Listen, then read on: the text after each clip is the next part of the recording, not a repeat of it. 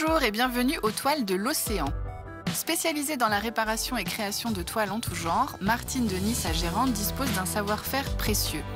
Bâche, PVC, acrylique, simili-cuir, pose d'œillet ou de pression, couturière de métier, elle répare, crée et personnalise avec ses matériaux des auvents ou des sièges de bateaux, entre autres, et sa petite entreprise ne connaît pas la crise.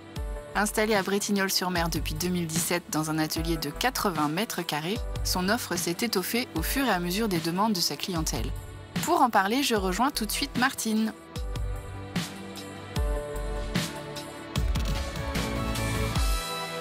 Bonjour Martine Bonjour Catel. Alors aujourd'hui, on va découvrir ton entreprise, de l'océan. Mais ce Oui. qu'on aimerait d'abord, c'est te découvrir toi en tant qu'entrepreneur. Alors raconte-nous, euh, quelle est ta formation au départ avant d'avoir cette entreprise? Qu'est-ce que tu as fait? Beaucoup de choses.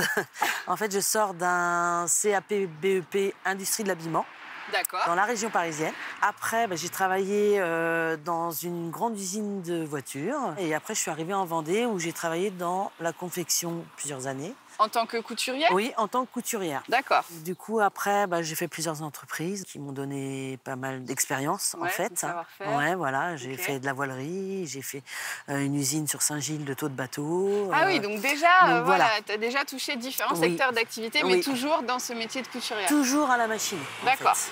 Alors comment on se dit d'un coup, euh, bon ben voilà, maintenant j'ai ce savoir-faire, mais j'ai envie de me lancer parce que ouvrir une entreprise, c'est pas donné à tout le monde. Tout le monde n'a pas, euh, Non. voilà, ce courage entre guillemets, mais cette envie. Oui, après j'ai été quand même poussée par mon mari en fait, qui Ah, m'a voilà. dit euh, vas-y lance-toi. Donc euh, oui, c'est vrai. Autrement, je pense que j'aurais peut-être pas eu le courage, mais Ouais. euh, c'est vrai qu'on a quelqu'un derrière qui nous suit euh, et qui nous soutient. euh, ouais.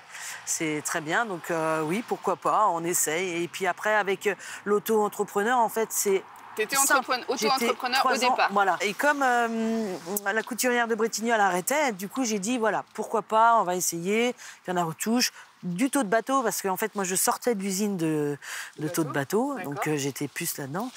Et en fait, au fur et à mesure, ben, je fais presque pas de bateau et je fais plus de camping, oui. Donc, euh, Oui, ça- du coup, euh, ouais, oui, c'est- pas du tout. euh, Enfin, voilà, la demande a été autre. Je- donc, au fur et à mesure, bah oui, mais au départ, je fais pas quoi. Donc, euh, et puis, bah voilà, au fur et à mesure, en fait, quand on connaît, quand on sait coudre, Ouais. on s'adapte un petit peu après aux matières. Oui, finalement, le Voilà, savoir-faire reste le même, mais c'est la, la matière et la demande qui change. Et alors Voilà. aujourd'hui, tu travailles avec qui des professionnels, des particuliers Alors, les deux, mais beaucoup plus de particuliers. D'accord.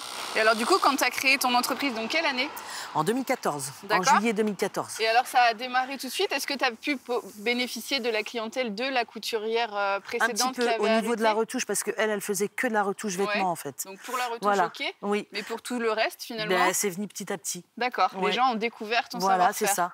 Et maintenant, les gens, en fait, quand ils rentrent, ils, disent- ils- ils pensent que je fais que de la grosse toile. Ouais. Et du coup, ils pensent pas que je fais de la retouche vêtements aussi. C'est la bonne Et voilà, c'est ça. Ils se disent ah ben vous faites aussi ça, donc euh, du coup euh, voilà, ça apporte. euh, Ouais, d'autres ouais, et puis ça élargit, toi, euh, ta palette de travail. Ouais. Euh, justement, on se trouve devant ton entreprise. Tu veux nous faire découvrir ton atelier? Oui, pas de souci. Allez, c'est parti, je te suis.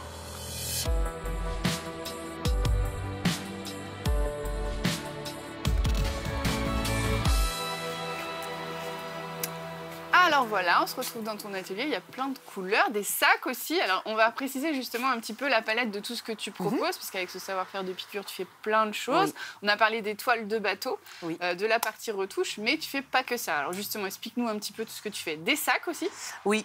Alors en fait, les sacs, euh, au départ, euh, c'était pour décorer un petit peu la boutique, vu que y- Ça marche du coup, on en fait un petit peu. Alors plus en saison d'hiver, parce qu'on a moins le temps en saison d'été, suivant la ça. demande. Ça. peut être la couleur que les gens demandent, avec une lettre, un chiffre. euh, On Ouais, peut faire pas mal de choses. Exactement. Ok, alors Mm. tu parlais de la, la- de la saisonnalité, justement. Oui. Toi, ton métier est vraiment très saisonnier. Alors raconte-nous comment Assez, ça oui. En fait, euh, moi, je travaille beaucoup avec les campings. Donc, en fait, euh, les campings ils ouvrent au mois d'avril. Ouais. Ils ferment au mois d'octobre, à Ouais, peu près. Voilà, donc voilà, c'est ça. Donc du coup, c'est vrai qu'à cette saison-là, moi, je fais beaucoup de réparations. Je travaille beaucoup avec les bâches de mobilhome. Donc de réparation euh, de bâches de mobilhome, c'est-à-dire on change le cristal. Quoi, Euh, le le cristal c'est les transparents qui servent de fenêtre, en fait, hein, qui est abîmé par euh, les UV. Euh, et du coup, on change, euh, je change ça, les le cristal, et euh, je peux changer les fermetures, poser un œillet, changer des élastiques, mettre des roulettes, enfin, en créer même de nouvelles. D'accord. hein. Donc, euh, du coup, ça, c'est le gros, gros, voilà, c'est une grosse euh, partie de l'activité. Exactement. Et- Donc après, euh, je fais aussi du coussinage. D'accord. Euh, Pour les pour campings mo- aussi Oui, pour les mobilhomes. D'accord. Mais ça peut être pour les maisons aussi. Ça peut être refaire un fauteuil, ça peut être un Ah canapé, oui, des chaises. Euh, je peux avoir la mousse et refaire la housse qui va dessus. Ok. Donc euh, voilà, ça c'est quelque chose qu'on fait beaucoup. Et alors, du coup, les, les campings, etc., ou même les particuliers, comment ça se passe? Ils viennent avec la- leur matière, Ouais. leur tissu, etc. alors moi, ou ils comptent sur toi pour trouver euh, tout J'ai ça? toute une gamme de tissus en fait, où les clients euh, prennent, euh, je leur montre ce que j'ai moi, Ce que tu peux leur trouver, voilà, ce que, je peux leur, proposer. leur proposer comme tissu. Ou après, si vraiment ils veulent par exemple un tissu avec des gros cœurs que j'ai pas, ils me rapportent leur tissu, il n'y a pas de souci. Ça, c'est quoi, par exemple? Ça, c'est une voile d'ombrage. Le client m'a apporté les cotes. Euh, Elle a choisi sa couleur. Je lui ai expliqué ce qu'on pouvait mettre comme accroche pour mettre euh, sur euh, son mur de maison. Oui, ce qui est faisable Voilà. et pas faisable. Voilà, exactement. Et, euh, et après, ben, on, on la coupe et on la confectionne. D'accord. Et alors, tu travailles toute seule ici? Alors, euh, euh, en général, je suis toute seule. hein. C'est moi la gérante. Et euh, je prends quelqu'un en saison qui vient trois jours par semaine pour me donner un coup de main parce que ben, j'ai que deux bras. Donc, Ouais, c'est compliqué. Ouais. Mais ouais. voilà. Et, Mais sinon, sur l'année, ça suffit, toi toute seule. Ouais, alors ça dépend. ouais, ça dépend. Alors après, je prends un auto-entrepreneur qui vient aussi une journée par-ci par-là dès qu'il y, a- il y a de la demande, quoi. Dès qu'il y a du travail. Et justement, alors, est-ce que c'est un métier euh, dans lequel tu arrives à te démarquer facilement parce qu'il y a peu de concurrents? Ou alors, euh, au contraire, c'est difficile de se faire connaître euh? Non, c'est assez facile. Enfin, c'est assez facile parce qu'en plus, euh, le monde du, du camping, euh, c'est beaucoup de bouche à oreille. Ouais, ils se tout le monde parlent se tous. Ouais. Et euh, voilà. Et quand ça leur convient, du coup, ils font. Parce que, bah, au Ouais. final, il y a quand même peu de personnes qui Oui, font exactement. ça dans la région. Si on vient te voir depuis Ah les oui. sables, c'est-à-dire que sur toute la les côte, sables, la sables à Tranche. Saint-Jean, ouais, dans les terres aussi. Ok. ouais. Donc, bah, tant mieux, quelque ouais, part. c'est bien. Mais pas moi, je suis de faire super trop de contente. pub. le bouche à oreille, c'est la meilleure publicité. Ah bah oui. Alors, montre-nous un petit peu tes outils. Avec quoi tu travailles Donc du coup, on a en fait, on a tout un coin euh, retouche vêtements où là, on va avoir la surfileuse, le coin repassage et le coin piqûre avec une petite machine qui pique euh, les vêtements, quoi. Après, euh, j'ai celle-ci en fait, je m'en sers des fois pour réparer des kites parce qu'elle fait un point zigzag. Ah, ok, tu répares les Voilà. kitesurf aussi Ouais, et kitesurf aussi. Ok. Donc la petite voile aussi. Mhm. Donc je travaille beaucoup avec les clubs nautiques, clubs de voile, de Bretignolles. Et on a ces machines-là euh, qui sont pour les grosses toiles. D'accord. Parce qu'en fait, c'est une machine à long bras. Et euh, ça veut dire qu'on peut. ça, le long bras. Voilà, c'est ça. Ça veut dire qu'on peut placer notre tissu à l'intérieur et on a plus d'aisance en fait. Ok, ah ben là on voit justement les types de coussins que tu Voilà. fais euh, pour les mobilhomes, c'est C'est ça, ça, ça- Donc ça, c'est des coussins qui sont rentrés en hivernage. Donc c'est à dire que les gens ferment leur mobilhome et ils veulent changer leur housse, la couleur ou parce qu'ils sont là, ils sont pas abîmés, mais la couleur lui plaît pas en fait. Donc elle me les laisse tout l'hiver et elle les récupère au mois d'avril quand elle arrive. Ce qui fait que moi, ça me laisse le temps de Le temps de le faire et de placer ça dans ton emploi du temps euh, Exactement. quand tu veux. Voilà. Et ça c'est quoi alors? Ça, c'est euh, un taux de bateau. Il veut placer quelque Il y a chose un arceau là. qui passe là et du coup ça le gêne, donc il faut faire une découpe. Et qu'est-ce qui te plaît alors dans ton métier? Entre Alors, euh, le... fait d'avoir été longtemps euh, salarié et puis d'un coup d'avoir franchi le pas, voilà, ça y est, maintenant c'est ta boîte. Ouais, c'est ça. En fait, j'aime le social déjà. Ouais. Euh, partager avec les gens, c'est vrai que surtout sur euh, des gens qui viennent pour la retouche vêtements, ben, ils sont habitués, ils sont fidèles depuis euh, depuis huit ans en fait. Donc on commence à les connaître, à, pa- à partager leur, leurs histoires en fait de vie. Ouais. Donc ouais, ça c'est j'aime bien ça. Ouais, Et après le fait aussi de pas faire pareil. de pas on voit pas le temps passer quoi parce Mhm. qu'on n'est jamais pareil et puis euh, c'est jamais les mêmes choses on fait jamais les mêmes choses. Et puis il y a quand même une petite partie euh, création aussi, parce que finalement, euh, tous ces sacs qu'on voit accrochés là. et alors, est-ce que ça, ça pourrait se développer sur une ligne différente Je sais pas, d'autres sacs ou d'autres alors on avait changé parce qu'au départ on n'avait pas fait ces sacs là et puis en fait c'est l'année dernière où j'ai voulu faire un peu des sacs un peu plus pour les hommes en fait. D'accord. et là c'était sacs de sport ça peut être sacs de, ouais, de, voyage de, pour mettre dans un bateau donc voilà alors peut-être que on va changer euh, quand ça va nous prendre on va changer d'idée quoi Mhm. mais euh, Donc ouais, une partie créative quand même assez, assez importante Ouais. et sur laquelle tu peux plus te consacrer en période d'hiver. Oui. Du coup. Oui, ou quand j'ai des stagiaires, parce qu'il arrive qu'il y a un Greta sur les sables qui envoie des stagiaires en formation euh, CAP sellerie. Et du coup, je prends des stagiaires. Là, j'en ai une qui vient mi-octobre pendant un mois. Mmh. Donc, elles font des sacs, elles font aussi d'autres choses, hein, bien sûr. Mmh. Mais ouais. Ça, bien ouais. ah ouais, ouais. Ah ouais, c'est sympa, ouais.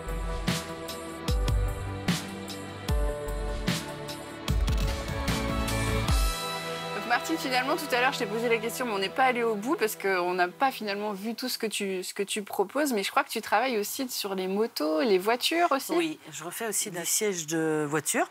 À partir d'un modèle, en fait, je peux refaire les sièges de voiture. J'ai refait déjà pour euh, des R17. Alors ça, je trouve ça super sympa parce que c'est des vieux modèles. Oui, c'est euh, ça, c'est un peu le côté voilà, vintage. C'est ça, exactement. Là, j'ai un camping-car peut-être qui va venir aussi. Euh, voilà, j'ai fait des jeeps. j'ai ma collègue qui fait des broderies aussi. Donc, euh, du coup, en fait, sur la Jeep, on avait marqué euh, Jeep. D'accord. Euh, donc, c'était super joli. Enfin, voilà. Donc, on fait aussi ça. On fait, j'ai fait des selles de, de jet ski.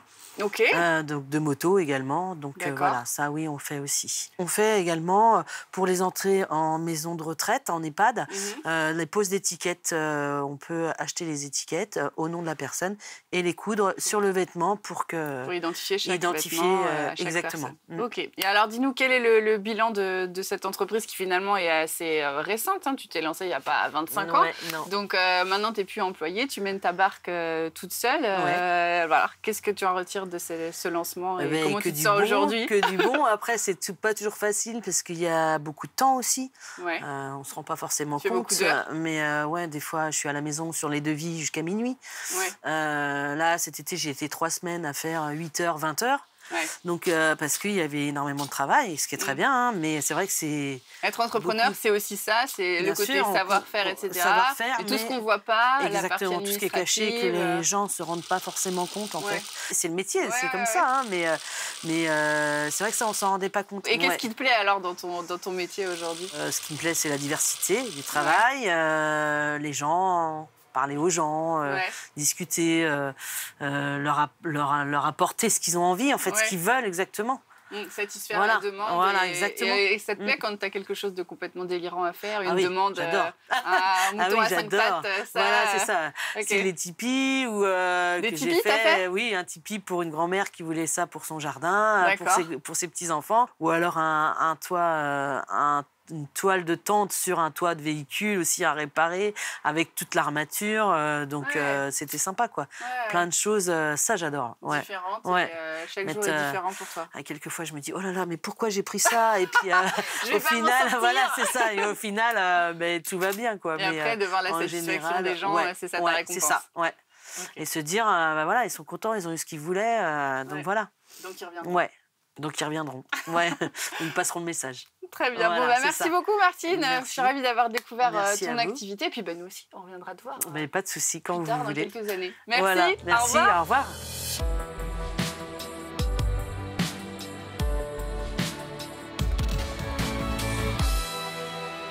En 8 ans d'activité, Martine tire un bilan positif de son lancement dans ce métier de cellier couturière. Aujourd'hui, son savoir-faire est demandé avec les campings et les différents professionnels et particuliers qui font appel à elle.